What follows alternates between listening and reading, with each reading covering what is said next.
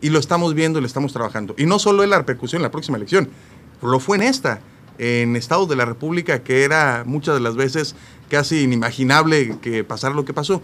¿Qué es lo que está pasando? Tenemos una sociedad más crítica, más exigente y tenemos que adaptarnos. Y en ese sentido, el presidente de la República este, decidió, retomando la pregunta inicial de esto, decidió en este cuarto informe de labores el poder presentar una manera distinta, en donde no simplemente se hablara y se hablara, sino también se preguntara sobre las inquietudes de las mexicanas y los mexicanos.